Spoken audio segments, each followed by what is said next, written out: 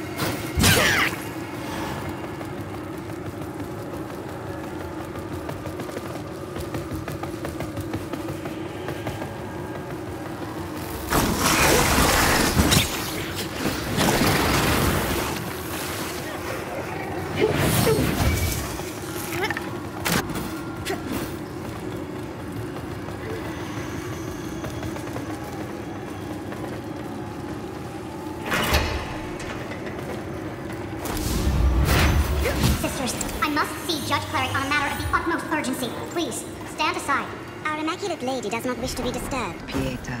This sickness, this corruption, spreading across the kingdom is out of control, and our efforts to cleanse it have devolved into callous butchery. People, including our own brothers and sisters, are suffering and dying. We speak for Judge Cleric, Pieta. Should she have need of you, you will be summoned. As for those who fall victim to the corruption,